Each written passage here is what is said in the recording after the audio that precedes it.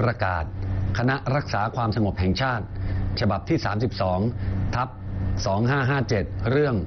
ระงับการออกอากาศของสถานีวิทยุชุมชน ที่ไม่ได้รับอนุญาตให้จัดตั้งขึ้นตามกฎหมาย และสถานีวิทยุกระจายเสียงที่ได้รับอนุญาตทดลองประกอบกิจการเพื่อให้การเผยแพร่ข่าวสารเป็นไปด้วยความถูกต้อง ปราศจากการบิดเบือน อันจะก่อให้เกิดความเข้าใจผิด จนส่งผลกระทบต่อการรักษาความสงบเรียบร้อย ซึ่งคณะรักษาความสงบแห่งชาติ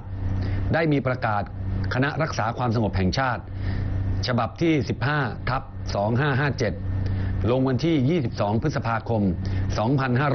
2557 และฉบับที่ 23 ทับ 2557 ลงวันที่ 23 พฤษภาคม 2557 โดยระงับการออกอากาศของสถานีวิทยุชุมชน ที่ไม่ได้รับอนุญาตให้จัดตั้งขึ้นตามกฎหมายที่กำหนด